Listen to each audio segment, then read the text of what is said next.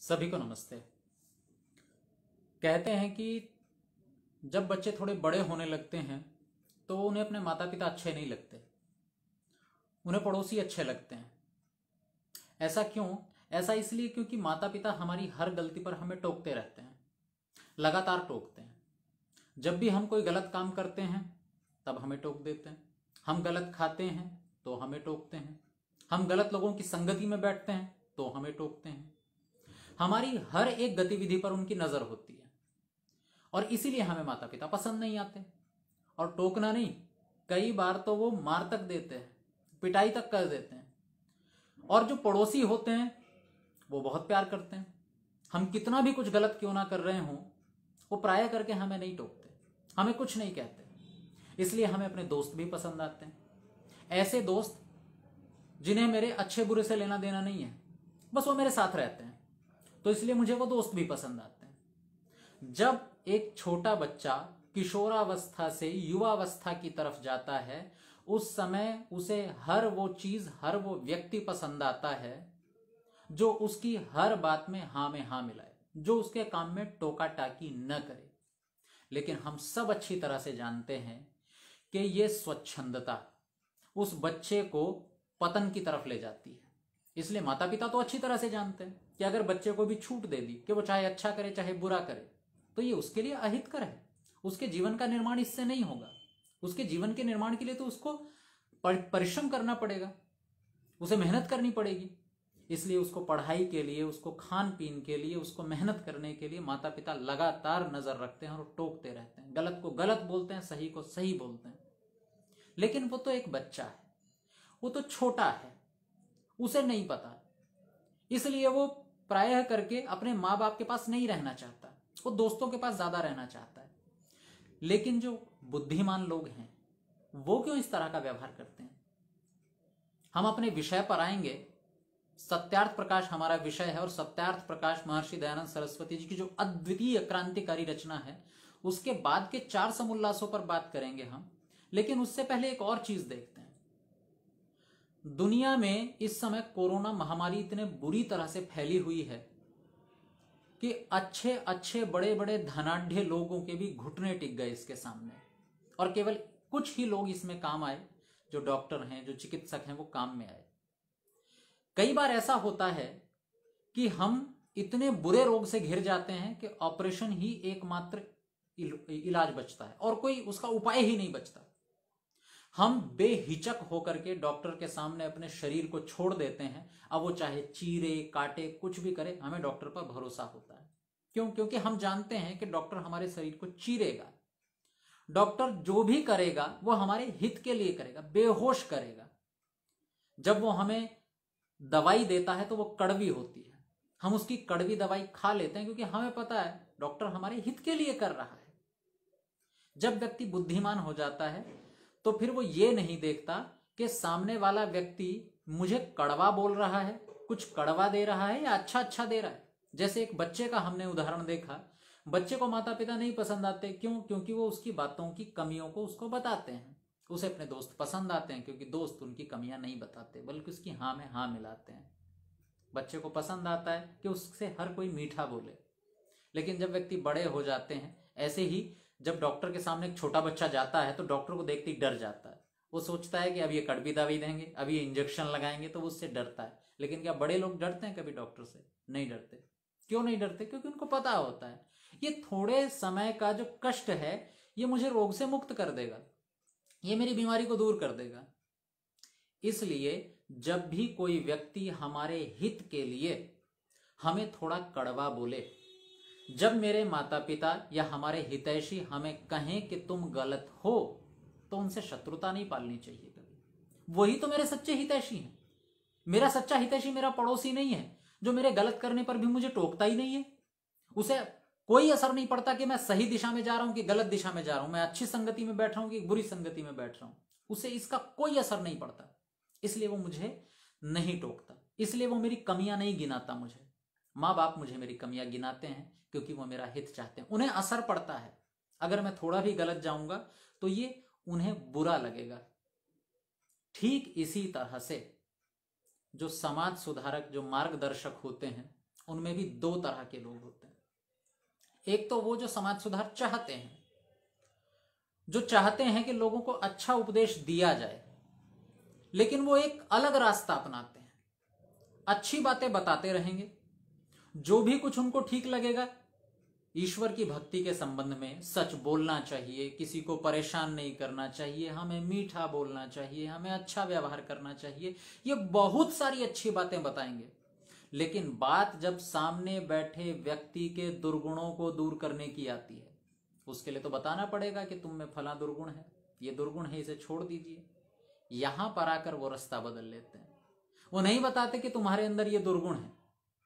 अधिकतर जो भी समाज सुधारक हुए हैं, मैं सबकी बात नहीं कर रहा हूँ, कुछ बहुत अच्छे भी हुए हैं, और वर्तमान में तो जो अधिकतर गुरु हैं, बाबे हैं, उन्होंने सबने एक यही रास्ता अपना रखा है कि बस अच्छे अच्छा बोलते जाओ, अच्छे अच्छा बोलते जाओ, और जब कुछ गलत को गलत कहने की बारी आए तो वहाँ पर मौन साध जाओ। ऐसे व्यक्ति समाज का हित कैसे कर सकते हैं? जो व्यक्ति गलत को गलत नहीं कह सकता, वो समाज के लिए कोई अच्छी दिशा कैसे दे सकता है? लेकिन ऋषि दयानंद सरस्वती जी इससे बिल्कुल उलट हैं। वो सही को सही तो बताते हैं। वो ये बताते हैं कि हमें सही बोलना चाहिए, हमें सत्य बोलना चाहिए, हमें अच्छे से प्यार से बोलना चाहिए, हमें किसी को परेशान नहीं करना चाहिए। वो ये सब बताते हैं। लेकिन जब बात गलत को गलत कहने की आती है तो वो चूकते नहीं है। वो सीधे बोलते हैं, यहाँ हम गलत हैं और इसको छोड़े बिना हम आगे नहीं बढ़ सकते। हमारे दुर्गुण जब तक हमसे नहीं छूटेंगे तब तक हम धार्मिक कहलाने के योग्य नहीं बन सकते। लेकिन सच को सच कहने में एक समस्या है। जब आप सच को सच कहते हैं तो आप अपने पीछे दुश्मनों की फौज इकट्ठी कर लेते हैं। जब तक हम अच्छा अच्छा बोलते जाते हैं, हमारा कोई शत्रु नहीं होता। लेकिन जब हम अच्छे अच्छे के साथ में बुरे को बुरा भी बोलना प्रारंभ कर देते हैं, तब हमारे शत्रुओं की संख्या बढ़ जाती है। और बस यही डर लोगों को सच नहीं बोलने देता, जबकि सबको पता है कि सच क्या है और झूठ क्या है। दयानंद सरस्वती जी ने जो ये सत्यार्थ प्रकाश लिखी, इसमें एक वाक्य लिखा उन्होंने, अपने अनुभवों के आधार पर लिखा, और कहा कि मनुष्य का आत्मा, अर्थात एक इंसान, एक मानव, उसके जो आत्मा होती है वो सत्य असत्य की जानने वाली होती है। इंसान को पता है, मनुष्य को पता है कि सच क्या है और झूठ क्या है, सही क्या है और गलत क्या है। लेकिन फिर वो आगे लिखते हैं, फिर भी वह सत्य को छोड़कर असत्य की ओर झुक जाता है। मनुष्य सच को छोड़ देता है और झूठ की तरफ़ झुक जाता है और कारण क्या बताए? हट, दुराग्रह और स्वार्थ की पूर्ति के लिए। जब व्यक्ति के स्वार्थ आड़े आ जाते हैं जब व्यक्ति मान करके बैठ जाता है कि यही सही है, इसको तो मैं पंद्रह साल से, बीस साल से मानता रहा हूँ इस बात को। आज मैं कैसे मान लू कि मैं ये गलत मानता हुआ आ रहा हूँ? मेरे अहम पर ठेस पहुँचती है। इसलिए फिर व्यक्ति सच जानते हुए भी सच को स्वीकार नहीं करता और अलग अलग रास्ते खोजने लगता है अपनी बात को सही सिद्ध करने के लिए। ठीक इसी तरह से, जिनको हम अपना मार्गदर्शक समझते हैं, जिनको हम अपना मार्गदर्शक मानते हैं उनमें कम से कम न्यून न्यून, न्यूनतम इतना तो गुण होना ही चाहिए कि वो सही को सही, गलत को गलत कहें।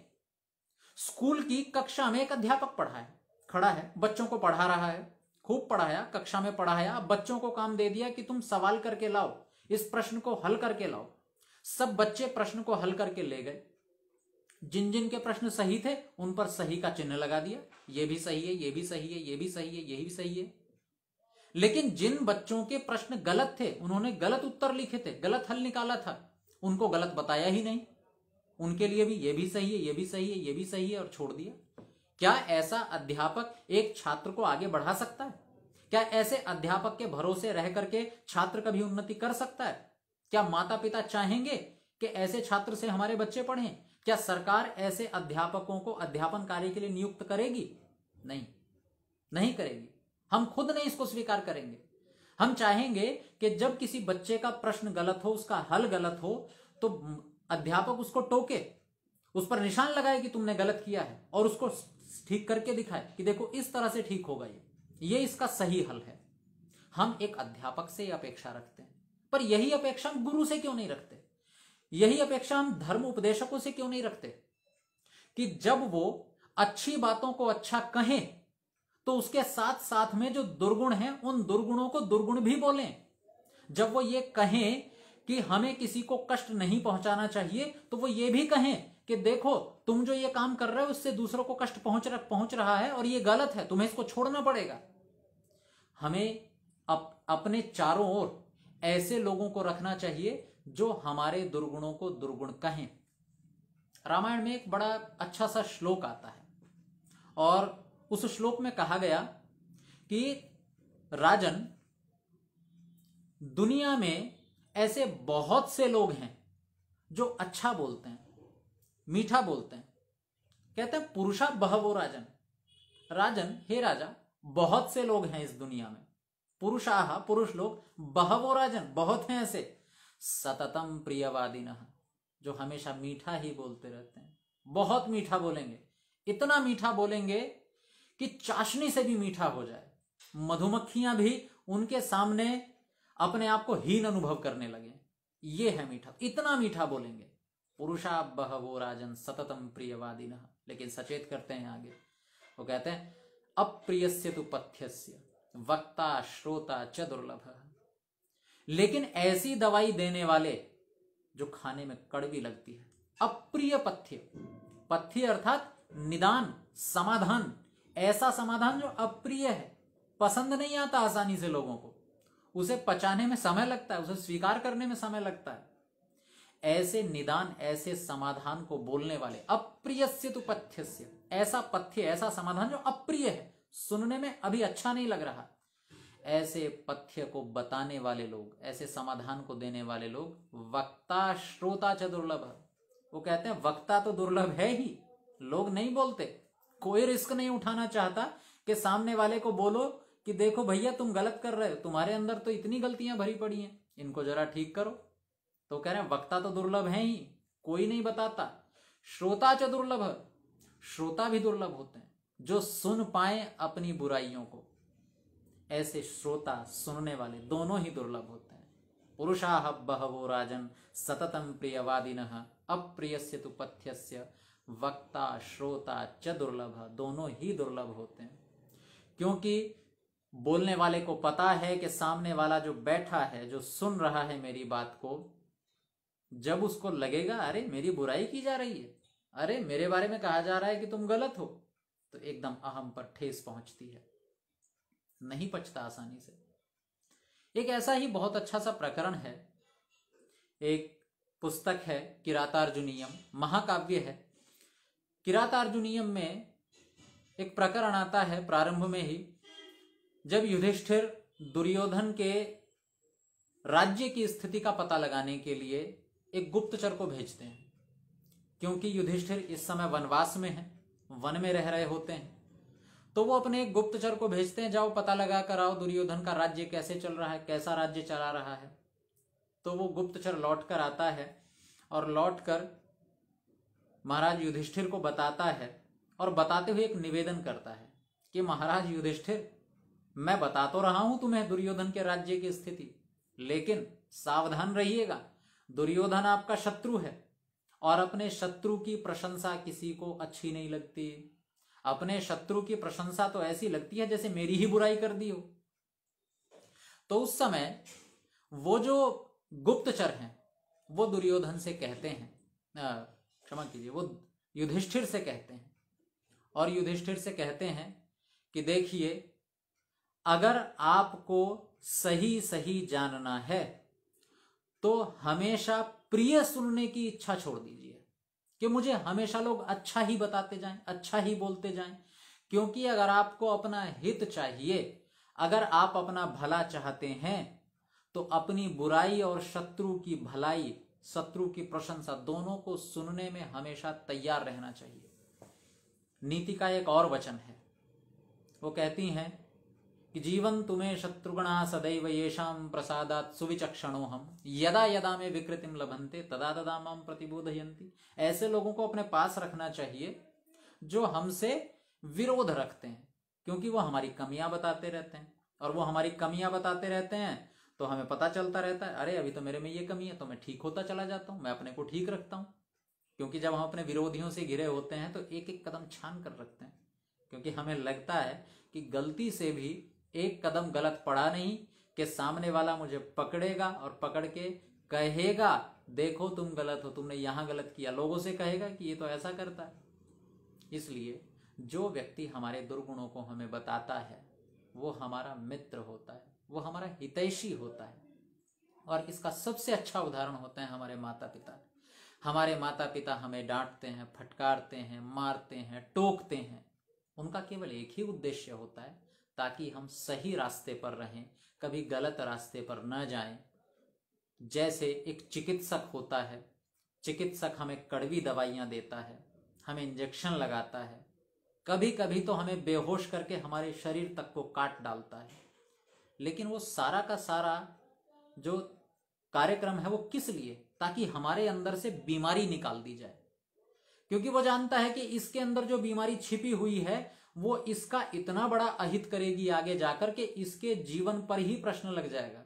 ये व्यक्ति जी नहीं पाएगा, इसका जीवन ही समाप्त हो जाएगा। अगर इसको ज़िंदा रहना है तो ये बीमारी निकालनी पड़ेगी। और उस बीमारी को निकालने के लिए कोई शहद या चीनी के घोल से काम नहीं चलता, शरबत से काम नहीं चलता।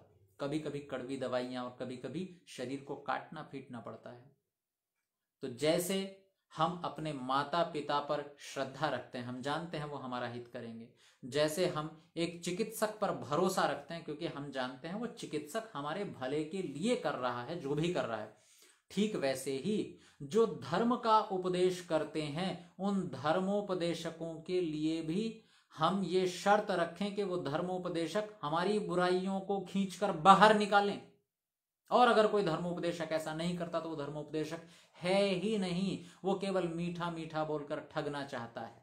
अगर उसमें यही साहस नहीं है कि वो बुरे को बुरा कह सके तो वो धर्मोपदेशक नहीं हो सकता। ऋषि दयानंद सरस्वती जी इस मामले में सच्चे धर्मोपदेशक हैं। जैसे कि कल हमारी चर्चा चल रही थी कि दयानंद सरस्वती ने सत्यार्थ प्रकाश में चौदह समुल्लास लिखे। उन चौदह समुल्लास में, पहले के दस समुल्लासों में यह बताया गया कि हमें जीवन जीना कैसे है? जीवन जीने का बेहतर तरीका क्या है? हम अध्यात्म में सबसे अच्छा जीवन कैसे जिए?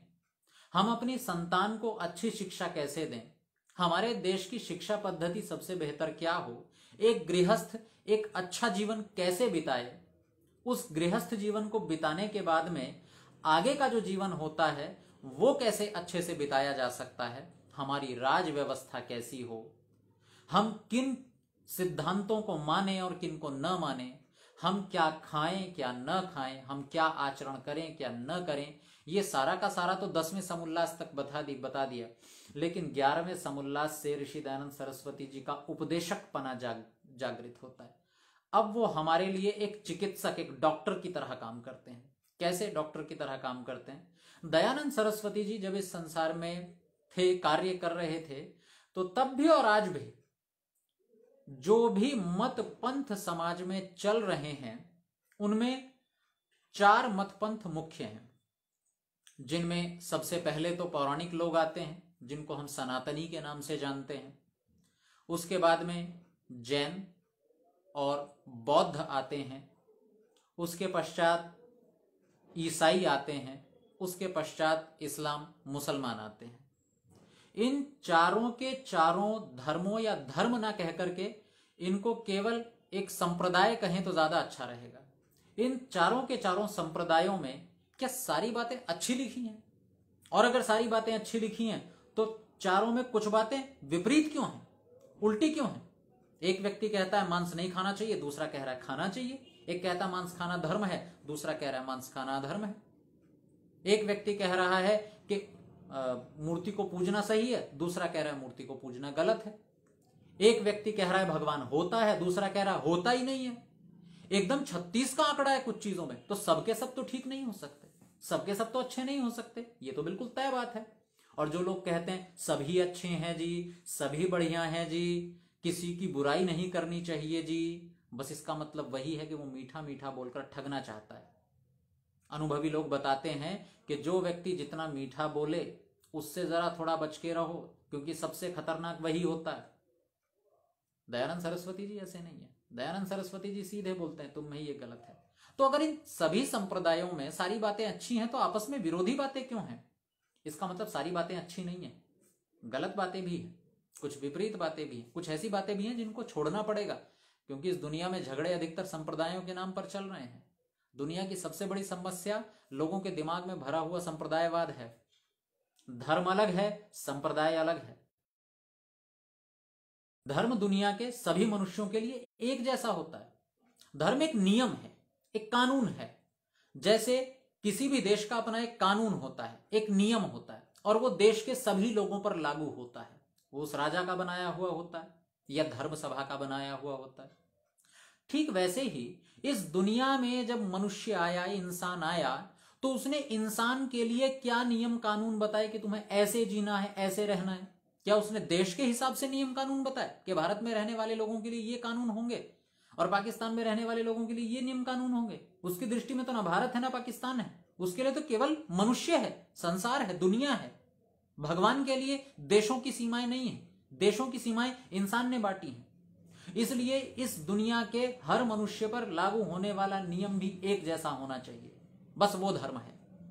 जिस नियम का पालन दुनिया के हर मनुष्य को करना चाहिए, वो नियम धर्म कहलाता है और जो हमने बनाए हैं, जो आदमी ने बनाए हैं कि हम ऐसे रहेंगे, हम ऐसे रहेंगे, वो धर्म नहीं है। तो फिर ये जो संप्रदाय हैं, जो संप्रदायों के नियम हैं, जिसने इस दुनिया में बखेड़ा खड़ा कर रखा है, क्या उनका कोई समाधान है? क्या उन नियमों को, गलत को गलत बोलने वाला कोई है जो कोई कह सके कि ये गलत है? क्योंकि सब चल रहे हैं। सबने एक पॉलिसी अपना रखी है। सब लोगों का अपना एक ढर्रा बन पड़ा है। और सबने तय कर लिया है कि बस हमें अपनी बात तो रखनी है, लेकिन दूसरे की गलत को गलत नहीं कहना है। जब तक हम दूसरे की गलत को गलत नहीं कहेंगे, तब तक अपनी बात को अच्छा सिद्ध करने के अधिकारी हम रहते ही नहीं है। अगर मुझे यह सिद्ध करना है कि मेरा सामान सही है, इसका मतलब दूसरे का सामान गलत है। अगर सरकार ये न कहे कि इस कंपनी की दवाइयाँ अच्छी नहीं है तो क्या वो देश अच्छे से चल जाएगा? उस देश के सभी लोग रोगी रहेंगे और रोगी रहते रहते ही उनको दवाइयाँ काम नहीं करेंगी, क्योंकि सरकार में यह दम नहीं है कि वो बुरे को बुरा कह सके। इसलिए दयानंद सरस्वती जी ये अंदर हिम्मत जुटाते हैं कि वो गलत को गलत कहते हैं। वो पहले ऐसे व्यक्ति हैं। और वो किसी एक व्यक्ति को गलत नहीं कहते। उनकी एक और खासियत है। वो ये नहीं कहते कि जो इस्लाम मत है, उसमें इतनी कमियाँ हैं, इतनी कमियाँ हैं, इतनी कमियाँ हैं और ढेर सारी कमियाँ गिना दी। फिर उसके बाद में जो ईसाई हैं, उसमें इतनी कमियाँ हैं और ढेर सारी कमियों की सूची गिना दी। ये गलत है, ये गलत है, उनकी ये मान्यता गलत है। फिर उसके बाद जैन और बौद्ध भी गिना दिए। और जब बात आई सनातन धर्म पर, क्योंकि वो स्वयं सनातन धर्म में पैदा हुए एक हिंदू के घर में पैदा हुए जब बात आई वहाँ की तो चुप, मौन साध गए। नहीं, ऐसा नहीं दयानंद सरस्वती जी ने किया। उनके लिए दुनिया का हर मनुष्य अपना है।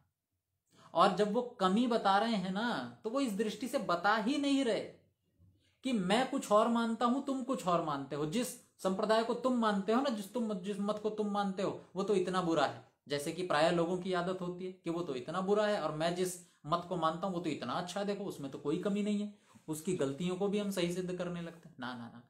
दयानंद सरस्वती जी इस दृष्टि से बोल, बताते ही नहीं है। उनकी एक ही दृष्टि होती है कि वो केवल इंसान के भले के लिए बता रहे हैं। तो इंसान इस्लाम में भी वही है, इंसान ईसाई मत में भी वही है, इंसान बौद्धों में भी वही है, इंसान जैनियों में भी वही है। बिल्कुल एक जैसा है इंसान। इसलिए दयानंद सरस्वती जी सबके लिए एक जैसी बात बोलते हैं कि भाई, तुम यहाँ पर गलत कर रहे हो, तुम यहाँ गलत कर रहे हो, इसको ठीक कर लो, इसको ठीक कर लोगे तो सुखी हो जाओगे। और बस इसी तौर तरीकों को लेकर के सत्यार्थ प्रकाश के बाद के चार समुल्लास हैं। ग्यारहवा समुल्लास। ग्यारहवें समुल्लास में दयानंद सरस्वती जी ने सबसे पहले अपने घर की बीमारियों को दूर करने की कोशिश की है कि जहाँ मैं रहता हूँ जिन लोगों के बीच में मैंने जन्म लिया, सबसे पहले उसकी बीमारियाँ दूर करने की ज़िम्मेदारी है मेरी। तो भारत में जितने भी, भारत में भी विशेषकर जिसको हम हिंदू समाज कहते हैं, उस हिंदू समाज में जितनी कुरीतियाँ पैदा हो गई, और वो कुरीतियाँ कैसे पैदा हुई तो दयानंद सरस्वती जी कहते हैं कि महाभारत के युद्ध में बहुत से विद्वान मारे गए, और महाभारत का युद्ध हुआ ही इसलिए क्योंकि लोग अपने अपने धर्म का पालन कर नहीं रहे थे पूरा सा। ठीक से। तो महाभारत का युद्ध हुआ, बहुत सारे विद्वान लोग मारे गए। तो जो लोग बचे, वो थोड़े कम योग्य थे, उनके हाथ में सत्ता आई। उन्होंने जो आगे जिस तरह से समाज को चलाया, उसमें कुछ ऐसे भी नियम, कानून, परंपराएँ थीं, जो पाखंड या अंधविश्वास से जुड़ी हुई थी। तो ये धीरे धीरे कुरीतियाँ जो समाज में आनी शुरू हो गई। इन कुरीतियों को निकालने के लिए दयानंद सरस्वती जी ने ग्यारहवा समुल्लास लिखा। तो हिंदू धर्म में, जिसको हम हिंदू कहते हैं, सनातन धर्म में, जितने भी छोटे छोटे छोटे छोटे संप्रदाय बन गए और वो संप्रदाय आपस में लड़ने लगे, कुछ संप्रदाय केवल भाग्य के भरोसे होकर के बैठ गए और अपने कर्म को उन्होंने तिलांजलि दे दी।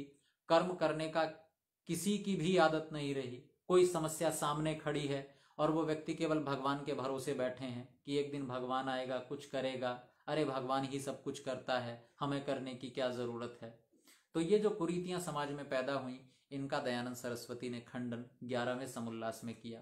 आगे आता है बारहवां समुल्लास। बारहवें समुल्लास में दयानंद सरस्वती ने जो हिंदू धर्म से अलग मत बन गए, जैसे कि जैन और बौद्ध, और वो क्यों बने? क्योंकि जब हिंदू धर्म में बहुत सारी कुरीतियाँ आई तो वो कुरीतियों के विरोध में जो आवाज़ उठाई, वो महात्मा बुद्ध ने उठाई, वो महावीर ने उठाई, और उन्होंने जब इसके खिलाफ आवाज़ उठाई तो उनका अपना एक अलग मत, अलग संप्रदाय बन गया। लेकिन समय के साथ उसमें भी बहुत सारी कुरीतियाँ आ गई। उन कुरीतियों का खंडन दयानंद सरस्वती जी ने बारहवें समुल्लास में किया, और जैसा कि मैंने कहा था पहले, उद्देश्य केवल एक ही है कि उस संप्रदाय में भी जो मनुष्य है, वो भी तो सुखी रहना चाहिए। और उसके सुखी न रहने के, उसके दुखी रहने के, उसकी समस्याओं का क्या कारण है, जो धार्मिक कारण है, धार्मिक गलत मान्यताएँ हैं उनको दयानंद सरस्वती ने सीधे बता दिया कि ये गलत है। अब आते हैं तेरहवें समुल्लास, तेरहवें अध्याय पर।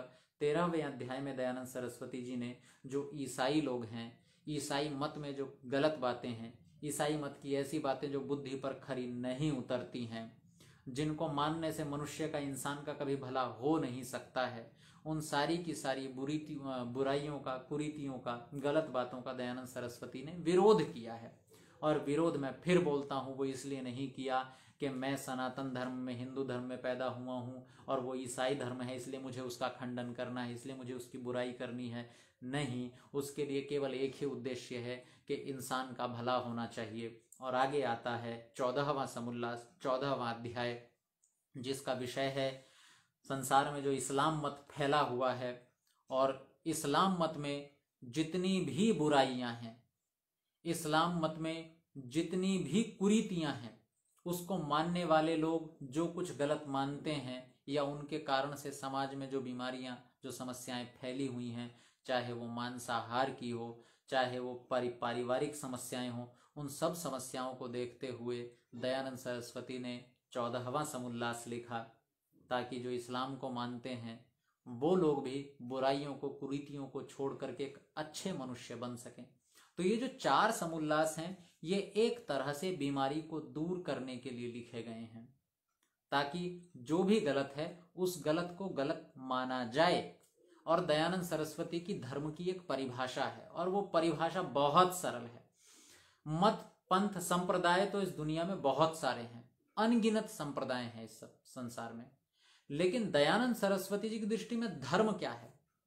जिस धर्म को कुछ लोग कहते हैं कि धर्म तो अफीम की तरह होता है, आदमी जो एक बार धार्मिक हो गया, धार्मिक कट्टरता आ गई, वो आदमी फिर पागल हो जाता है, वो कुछ सोच नहीं पाता।